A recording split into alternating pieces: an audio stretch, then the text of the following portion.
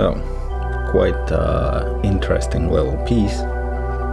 Another study testing Clarisse capabilities, but the most challenging part of this project was to rig the vehicle. As usual, in order to save time, I bought the model on TurboSquid and then I had to rig it. So I ended up rigging the rover with the Cinema 4D uh, dynamic connectors. Initially, as you can see, this didn't go very well. But after a few tests, fiddling with some settings, the rig was finally working. A good thing about Cinema 4D Dynamics is that it's real time, unless you're loading your scene like crazy. With the help of Xpresso, I made the steering controls for the rig and was able to keyframe the steering wherever I wanted the rover to turn. After that, I needed to prepare the terrain for tire tracks because the rover is supposed to cruise across the moon surface, which is soft, it's made of dust. As we're talking about really large scale terrain here, I needed to isolate the areas that's supposed to be high detailed. The rover rig and the setup for tire tracks generation is available in my store by the way. Links are in video description.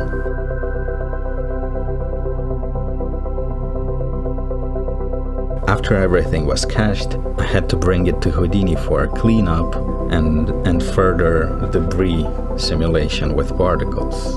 Not debris, but dust. Then I started to assemble the scene in Clarisse. For now, I just needed to figure out how it should look like, how it should be lit, and I certainly knew that I will need a lot of scattered rocks on the surface. Played quite a lot with different point clouds, tried to achieve better randomness and, and things like that. Then I started to shade the rover. Color management is a very important part in shading if you're working in ACES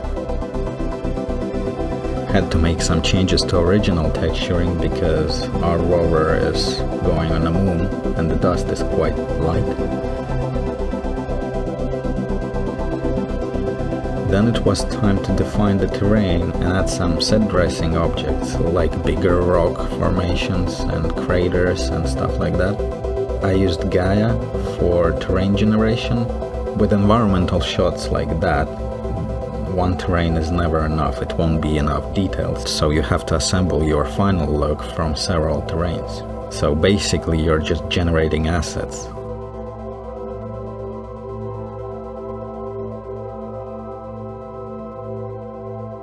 Once terrain was more or less okay, it was time to start importing some buildings for the lunar base. I used Kitbash 3D lunar base assets and before you import them anywhere you need to prepare them like reset the pivot point group elements properly together make sure that shading groups are correct. If you're working with Cinema 4D shading groups are just polygon selections. Once that was done and Alembics exported it was time to set up the shading layer in Clarisse. Shading layer is basically a collection of uh, rules dictating which materials go where on certain objects. Since we have tens of different buildings in this pack, this is a very efficient way to shade them all in one go instead of manually assigning materials to each individual element in every building.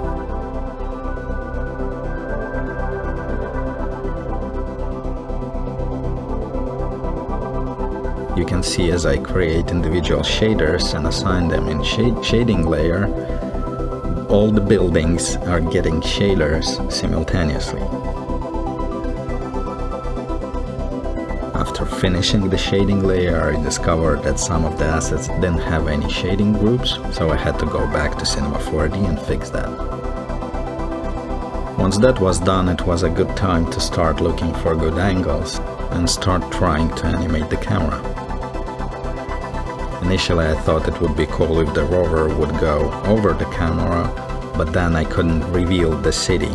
The lunar base would be already in the shot, so I changed the angle to what it is in the final. With animation in place, it was time to start putting buildings as I wanted them. I wanted the lunar base to be revealed over time. Once that was done, it was time to start thinking about simulations, the tire track, debris, dust, all that stuff.